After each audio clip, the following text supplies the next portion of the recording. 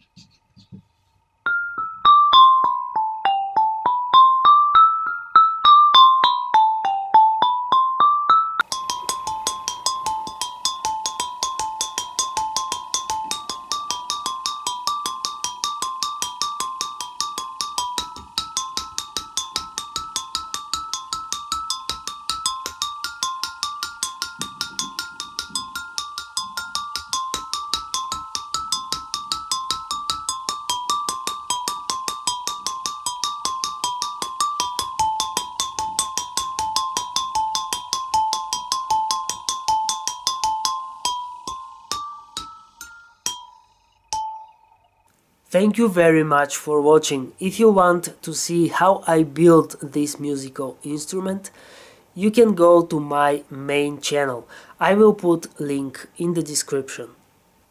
And don't forget to subscribe because I have a lot of ideas about making musical instruments.